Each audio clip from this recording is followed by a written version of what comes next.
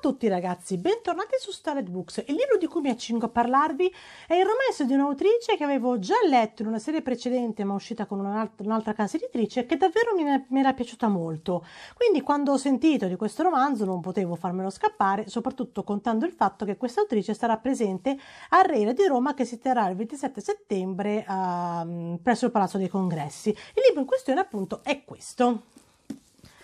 Mr. Romance di Lisa Raven. Uh, questo non so se è il primo di una serie perché non mi sono informata, ma spero già tanto che ci sia un libro dedicato a due personaggi che appaiono qui, uh, che sono diciamo un po' le spalle dei protagonisti, uh, più o meno anzi della protagonista perché sono collegati soprattutto a lei, ma devo dire che questo romanzo mi ha davvero conquistata, è davvero una storia romantica, carina, leggera, ma anche intensa e coinvolgente, perché comunque i due protagonisti, anche se sembrano imprescrutabili, hanno il loro bel bagaglio di problemi, ma il tutto è gestito con una leggerezza e uh, una, un romanticismo veramente stupendi. Mi accingo a leggervi la trama.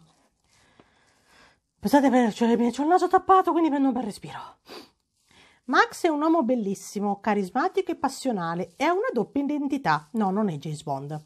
Di notte diventa Mr. Romance, che è anche meglio secondo me, un escort che può far avverare ogni fantasia. Le regole sono chiare, niente sesso, ma serate di corteggiamento che stanno facendo impazzire donne e ragazze dell'alta società newyorchese.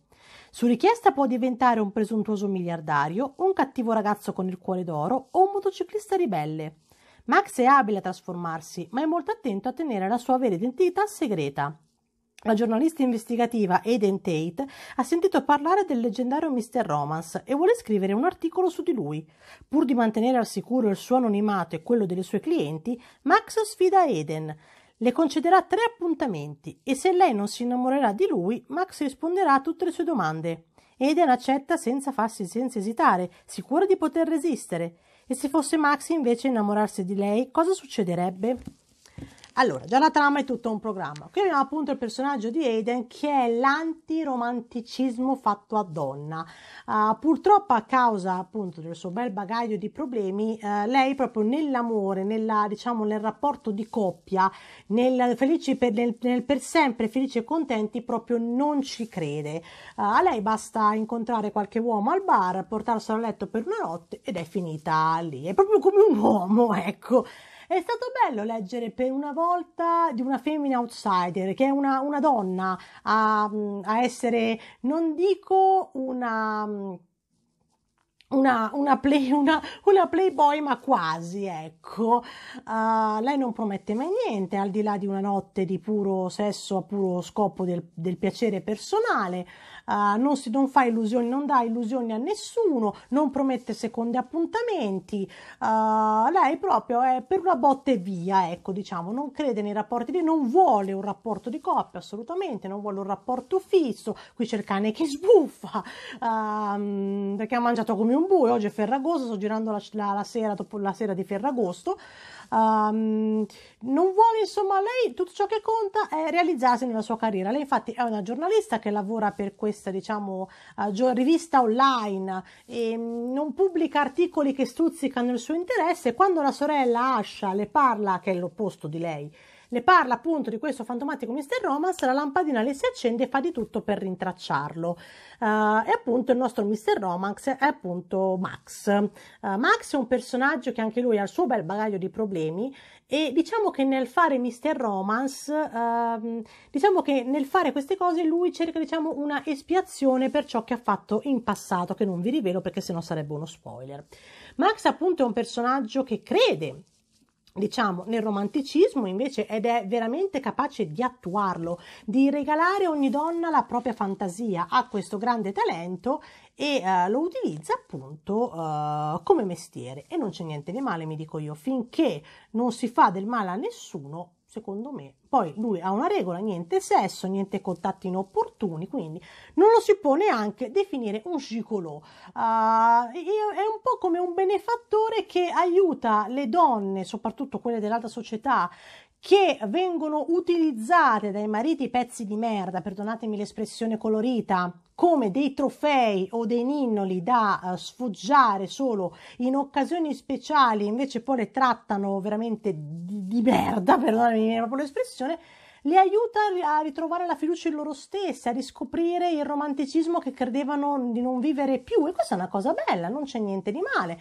non si prende in giro nessuno finché tutti sono consenzienti, ma Eden non è dello stesso parere, per lei Mr. Romance è un truffatore che sfrutta le debolezze di queste povere donne frustrate per fare dei soldi. No, bisogna guardare, cara Eden, proprio Eden si vede che è il cinismo fatto a femmina all'inizio. All'inizio Max piano piano dovrà scavare a fondo per farsi strada nel cuore di Eden, ma anche Eden uh, riuscirà a scalfire il muro che Max alla fine si è costruito attorno a lui, perché comunque sì, lui regala il romanticismo alle donne, ma non sente di meritarselo, non sente di meritare l'amore, proprio uh, lui si vede proprio come un uomo di merda, ecco, scusate, avevo detto merda cento volte, ma ci sta ragazze, ci sta la loro storia è veramente bella, è veramente coinvolgente. La Isa Raven poi ha questo stile veramente scorrevole, veramente bello, che unisce commedia a, a quel pizzico di dramma, di angst, ma anche riuscire a strapparti grosse risate, anche appunto col personaggio di Nanabeth,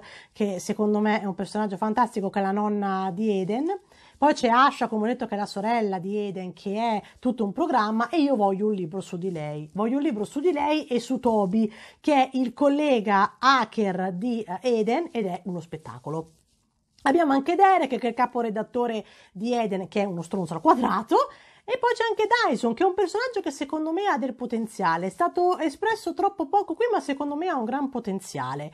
Uh, come ho detto, poi la storia tra alti e bassi si sviluppa, uh, i due riescono, infatti il processo loro di, di, conoscimento, anche di innamoramento, è bello, è bello, è fatto bene. Sapete che io adoro quando c'è il percorso, quando c'è il processo, non quando tutto accade bim bim boom, quando c'è la bombata subito, proprio subito la scintilla non è che mi piace, io voglio vedere proprio lo sviluppo, l'evoluzione del sentimento, del rapporto, qualunque esso sia. Mi piace da impazzire, soprattutto se è reso bene, come in questo romanzo, a cui io do un 4 stelle veramente pieno perché la storia è veramente bella.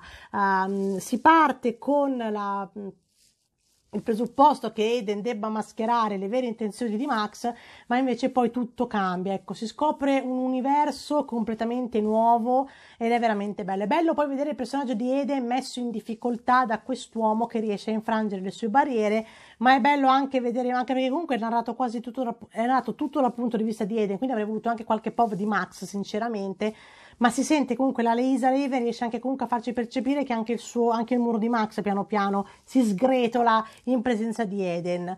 Um, quindi come detto un 4 stelle pieno per questo romanzo, veramente se cercate un romance bello, coinvolgente, romantico, divertente, che vi faccia staccare ma che vi regali anche quelle emozioni che soltanto il romance più puro e più scritto bene sa donarvi, non fatevi scappare il vostro il grande Mr. Romance. Bene, questa recensione si conclude qui, io spero che vi sia piaciuta. Vi ricordo come sempre che nell'info box trovate il link del blog con tutte le info riguardanti il libro, prezzo, trama, numero di pagine, casa editrice, tutto quello che può servirvi per farvi un'idea. Troverete anche i miei social, Facebook, Twitter Instagram, avete trovarmi, seguitemi, mettetemi like che mi fate tanto tanto contenta. Iscrivetevi al canale blog se non l'avete ancora fatto, cliccate sulla campanella per attivare le notifiche e se questo video vi è piaciuto mettetemi un bel like e condividetelo. Vi mando un bacione enorme e ci vediamo al prossimo video, alla prossima recensione. Ciao a tutti!